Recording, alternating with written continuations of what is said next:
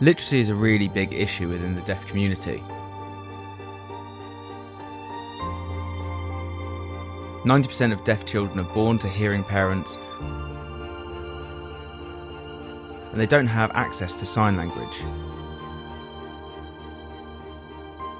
And we know that between the ages of 0 and 5 is crucial for language acquisition.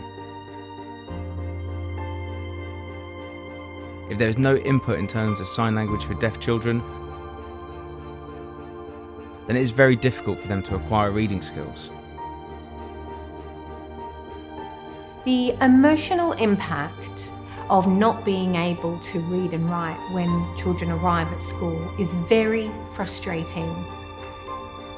They recognise that their peers are advancing and they are not.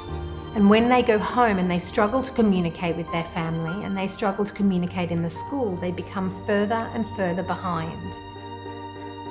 I have four children and my youngest child is Tink, who was born profoundly deaf.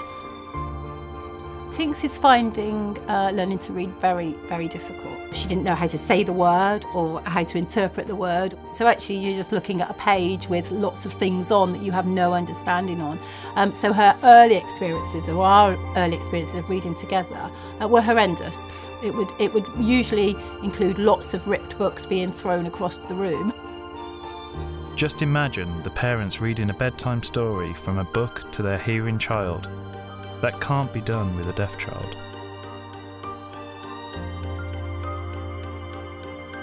StorySign is really important as there really isn't enough out there for deaf children. In fact, there really is very little.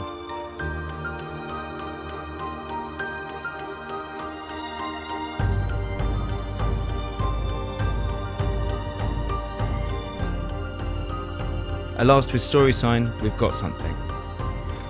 We've got the technology, and it links with the traditional books. So it's encouraging deaf children to sign and read.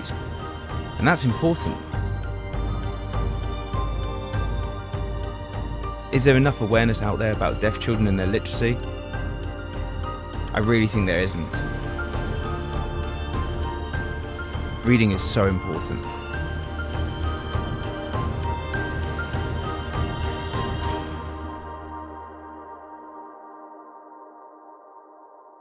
Huawei.